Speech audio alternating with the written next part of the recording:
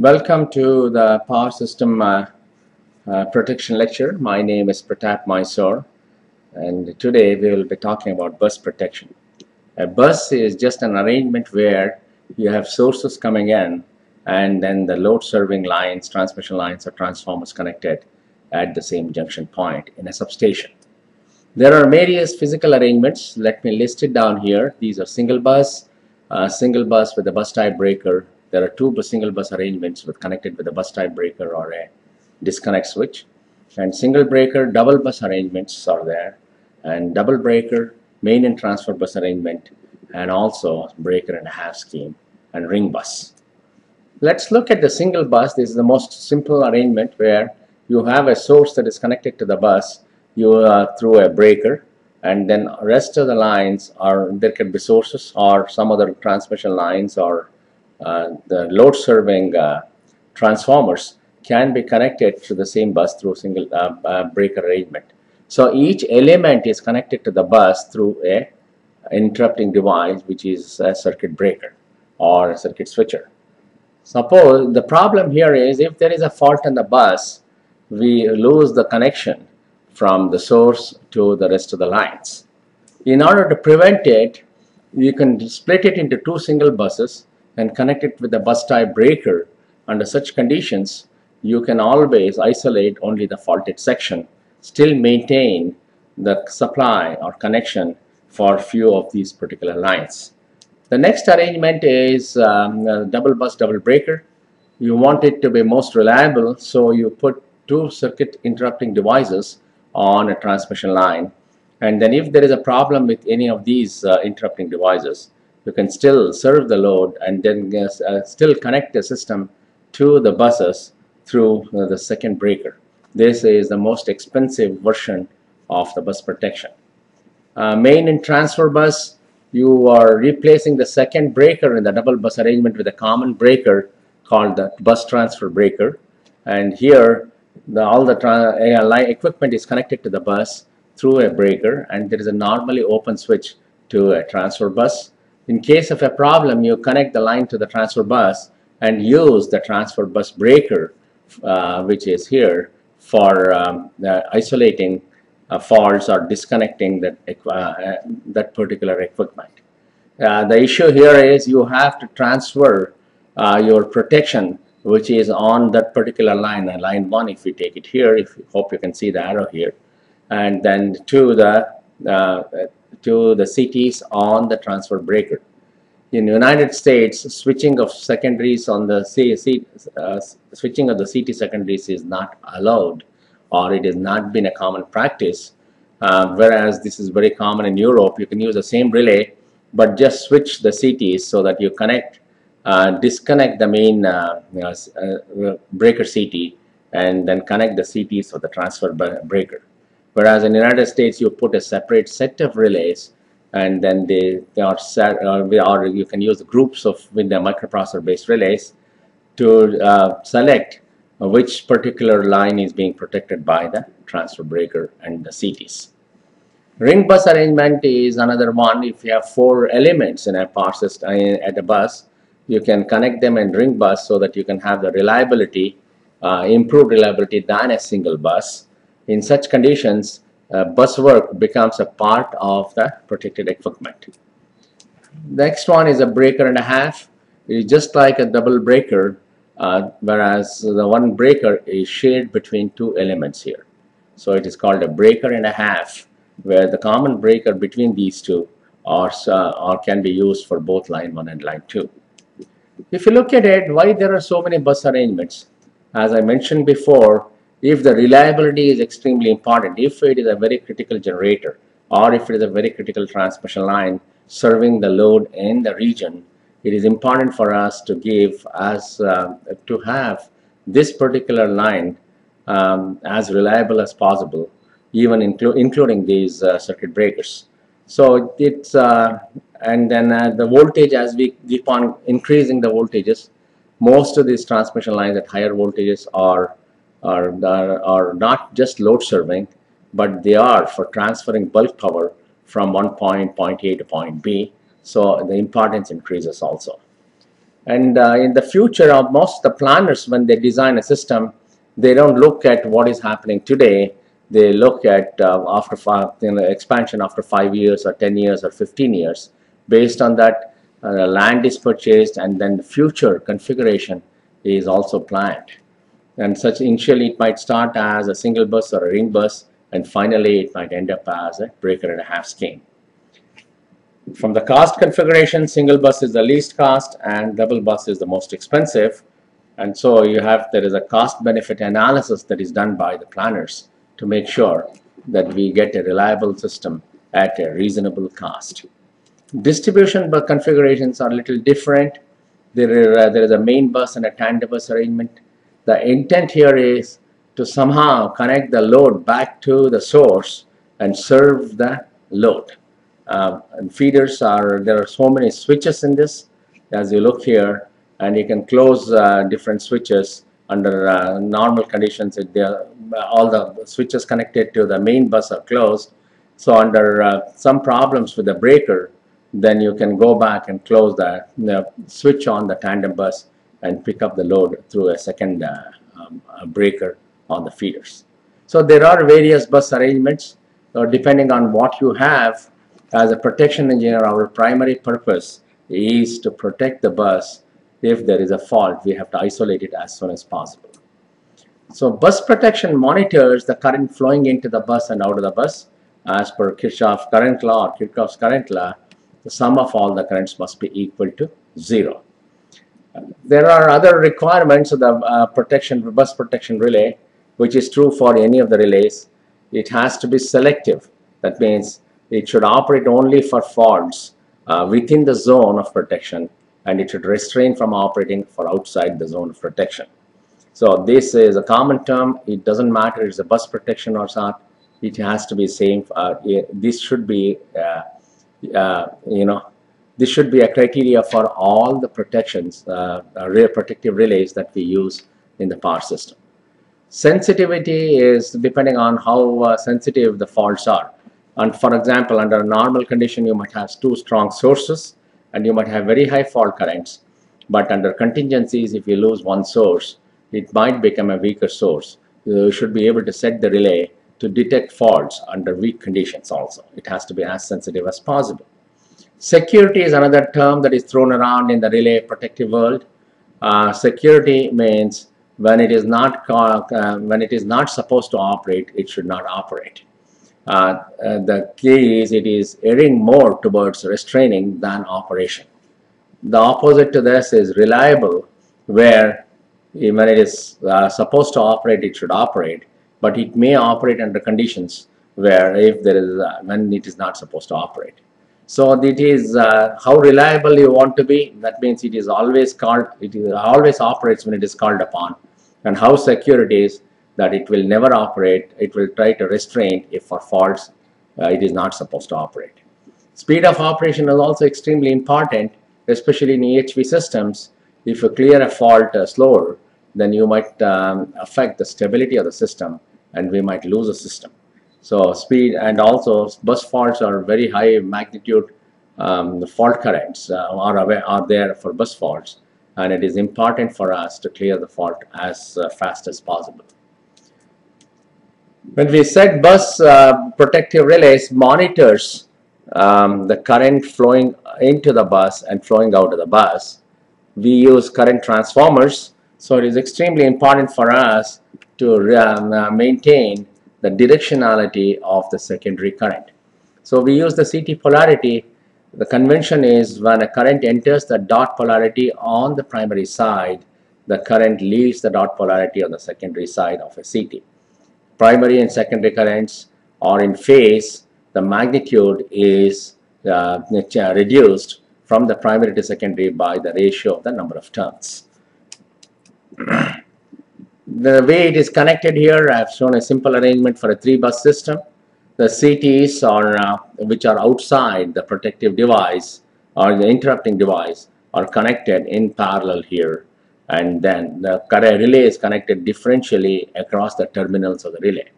So there it is, uh, the zones are defined by the CT location and also the interrupting device and these zones can be fixed or uh, switchable. Uh, the reason why I have uh, made this statement here is if there is a problem with one of these breakers, we may not be able to switch this. We might be using a breaker in the adjacent, uh, adjacent to the breaker, uh, the failed breaker, and we shift our zone to the um, to those CTs on those breakers.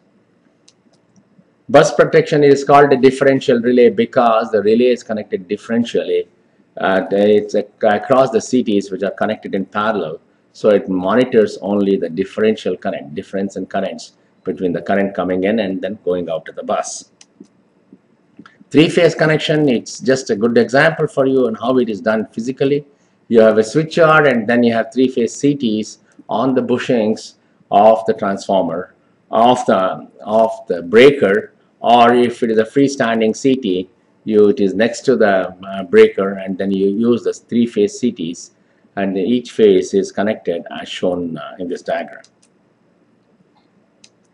So if you look at this, I have currents I1P and I2P coming into the bus and I3P and I4P going out of the bus serving the load or it's going to some other substation.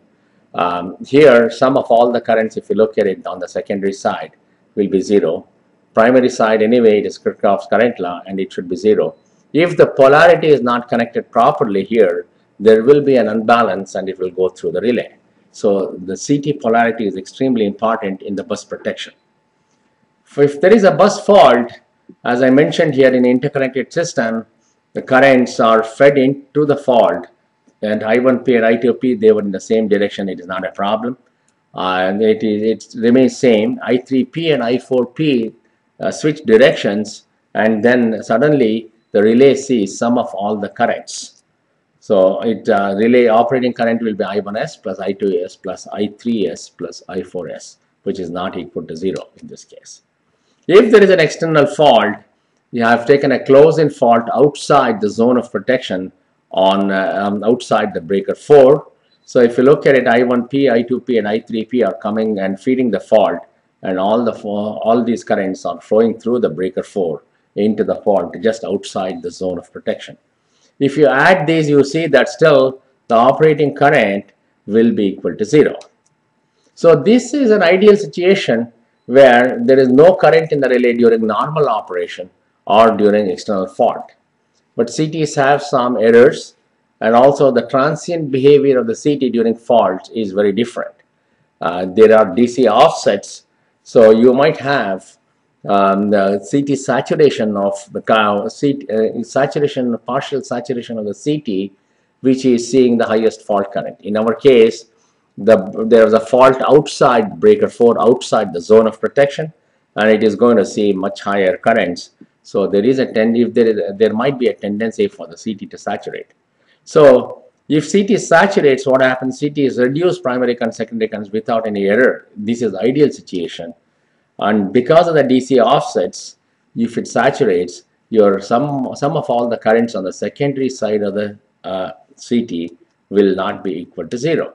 So in this case, let's see that there is a fault outside the zone, um, outside breaker 4, outside the zone of protection.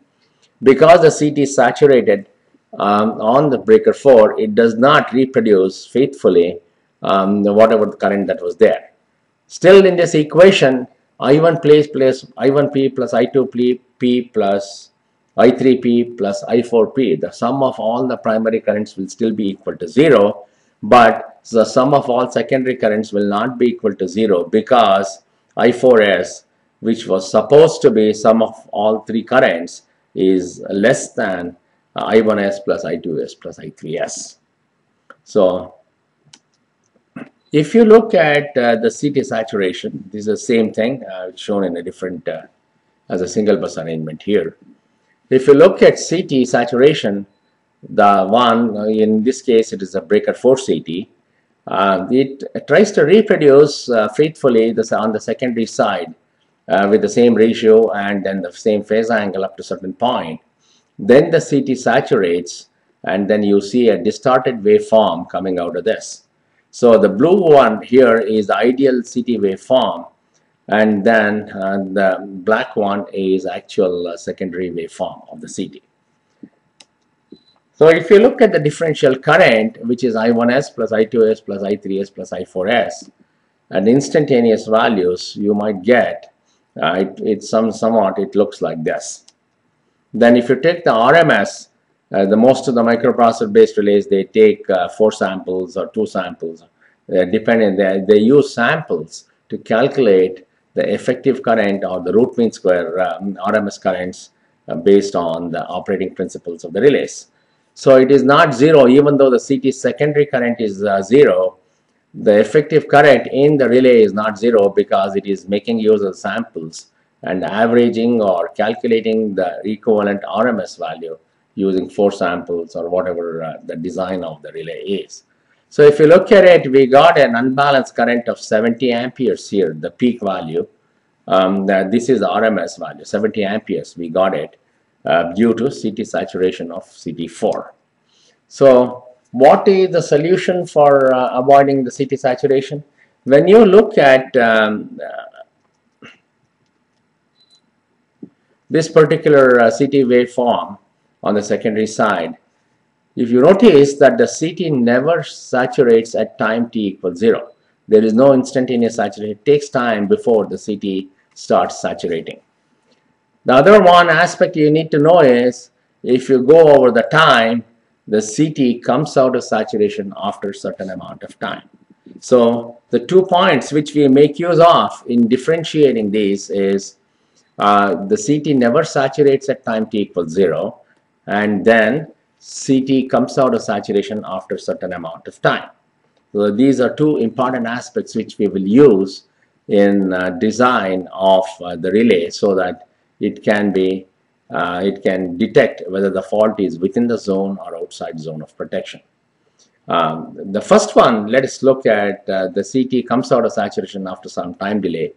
So the best way for us would be to delay the protection for certain amount of time so that the CTs are, uh, are reproducing the actual waveform, sinusoidal waveform after a certain amount of time because it came out of saturation. Uh, so if you can put a time delay and then trip the relay after a certain amount of time. What is the disadvantage of this? If the fault current is 50,000 amperes, you don't want it to be sitting there for 10 cycles or 15 cycles. They are uh, 6 or 10 cycles depending on how fast a CT comes out of saturation. Um, then uh, you are unnecessarily delaying the protection, which is not a good thing. But still, this has been in uh, practice by using inverse overcurrent relays by several utilities. And then second one is, if you know that the CT is going to saturate, is there a method through which we can uh, go back and then uh, set the relay in such a way that it knows that the CT is saturated, but it will not operate for those conditions. And the third method is you determine that the CT is going uh, has gone into saturation before it goes into saturation. For example, we know at time t equals 0, the CT was not saturated. It goes out and it comes into saturation after some delay. So if you have a criteria to determine this, then make use of this and, and then change the characteristics of the relay or block the operating operation of the relay under such uh, conditions for an external fault. So if you look at a CT uh, saturation, we will go through some examples here. We have just taken two CTs. Uh, uh CT4 is here and then all other CTs are represented here as one CT in for, for our example. And then for an external fault, the current that is produced by all the other CTs is going through CT4 and there is no operating current under normal condition, right? So now if the CT saturates, then uh, there is no inductance on the CT, it is only the winding resistance. The winding resistance is 0.002 uh, ohms this is the typical value. It could be 0.18 or 0.12 depending on the gauge of the wire that is used for winding the CT and the length of the wire uh, on the, of the winding. So if you look at this, I have taken a typical example of 0.002 ohms per uh, turn if it is a 1200 to 5 CT, it has 240 turns and then total resistance of the winding on the secondary side is 0.48 that is 200 multiplied by 0.002. So there is a 0.48 ohms sitting in parallel with the relay um, uh, burden. Burden is nothing but its impedance value that is offered by the relay or uh, in this case. So if you look at the relay burden as 0.5 ohms, most of the microprocessor based relays are um, have burdens less than 0. Uh, as I know 0.4 ohms as I mentioned it here and then you have a 0.5 ohms I'm assuming here in parallel with a cable that is going from uh, from the relay point in the control house up to the breaker CT and then it is going through the resistance of the breaker CT and then it is coming back to the relay point. So if you look at it, if I assume the total length of the cable is 500 feet and then I'm assuming that it is 1 ohm per thousand feet. It's the number 10 AWG wire which is commonly used in the United States. Uh, so if it is 0.5 ohms, I have 0.5 ohms of the cable plus 0.48 ohms of the resistance that is about 0.98 ohms that is in parallel with 0.5 ohms of the relay. So if you look at this two-thirds of the current uh, flows through the relay because if I assume 1 ohm in parallel with 0.5 ohms two-thirds of the relay of the current is going through 0.5 ohms here and uh, so the relay has a tendency to misoperate under such conditions. Now uh, uh, the, the solution is suppose if I keep on putting some higher impedance through the relay then I can divert that current to go through the CT for most of the times. So I have got a, a burden of the relay as I mentioned was 0.04 ohms and then I am putting some uh, 500 ohms here and if you go back and look at it most of the current will now go through the CT here and most of it will not go through. So what we are doing is we are putting a resistor in, in series with the relay operating coil. So converting a low impedance uh, uh, coil to a higher impedance. This is just like an ammeter which uh, we can use it as a voltmeter by connecting some uh, resistance, high resistance in series. So if you have an ammeter, you want to use it as a voltmeter, put resistance in series and then measure the voltage and then you can calibrate the ammeter, uh, milliammeter, uh, for example, if you have a milliammeter, then, then you can calibrate the scale as volts. So the voltage drop is directly proportional to um, uh, the current through the relay is directly proportional to the voltage, voltage divided by the impedance of the relay. So you can calibrate this relay in terms of the voltage. So this is uh, one of the solutions.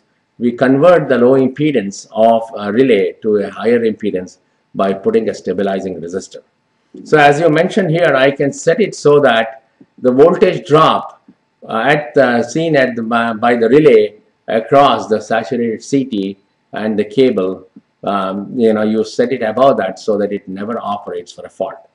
Uh, let me take an example here. If I have 100 ohms of fault current, uh, 100 amps of fault current flowing on the secondary side of the CT, and here I uh, mentioned last time that the cable uh, impedance is 0.5 ohms, and then uh, you know, cable, you know, and then the CT resistance is 0.48. I can, it is almost very close to 1 ohm. And for simplicity, I'm rounding it off to 1 ohm. And then I have 100 amps going in through this loop. So if it is 100 amperes, the voltage seen by the relay will be 100 multiplied by 1 ohm, 100 volts. So if I set this relay to operate, pick up at a voltage which is higher than 100, we can give a safety margin of 50% or so, 150 volts, then this relay will not operate for a fault outside the zone of protection.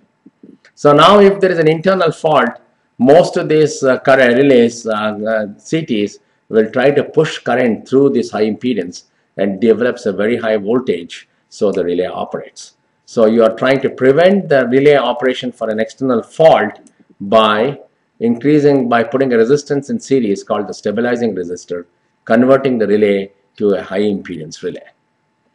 Okay, so now at this time we will uh, stop and then uh, we will continue with this uh, lecture in the next uh, uh, session. Thank you.